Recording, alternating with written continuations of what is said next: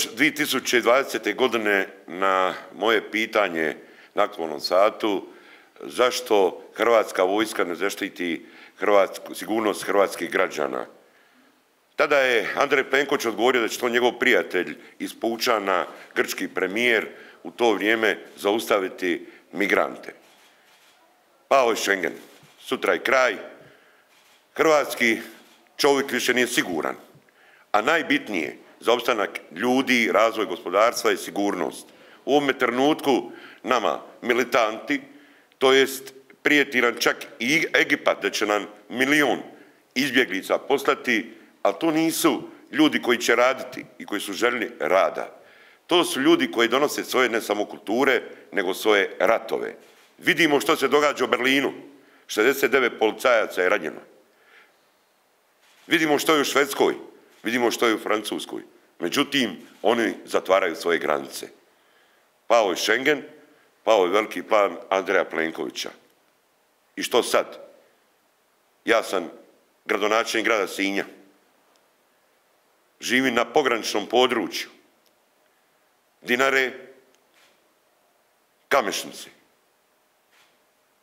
Moji se građani boje. Oni su u strahu u pograničnom području, u brdsko-planinskom području. Što će im sad Andrej Plenković kazat, što će im kazat Zoran Milanović, što će im kazat Jandroković, što će im kazat Božinović? Da li su sigurni? Ja pozivam sve gradonačelnike, načelnike u pograničnim područjima da dignu svoj glas.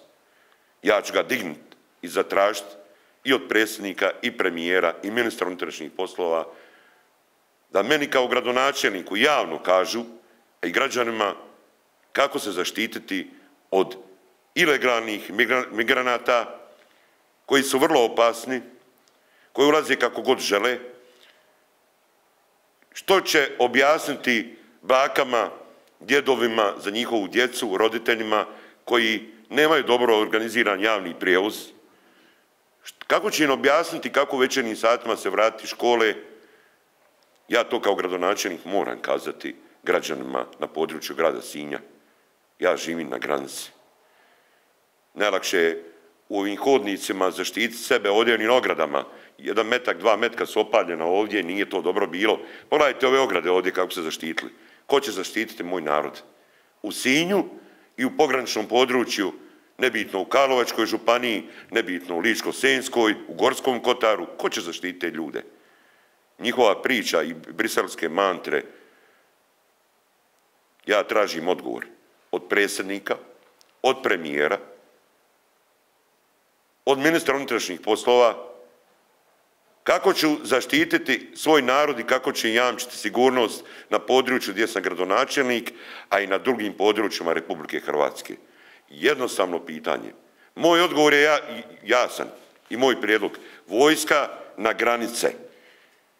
Hrvatski vojnik je pobjednički vojnik, hrvatski vojnik će obaviti tu zadaću i zaštititi sigurnost građana Republike Hrvatske.